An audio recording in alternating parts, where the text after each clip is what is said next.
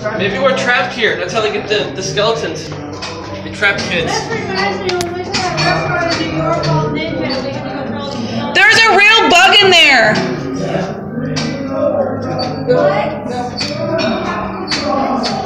Yeah. If they trap you, Bill, stop. Go, Bill. Stop stopping it. I'm not. Uh huh. My hands are up here.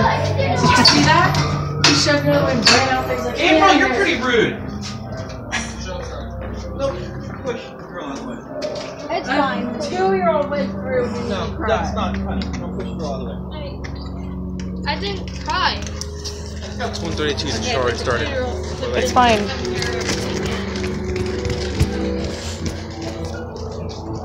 You guys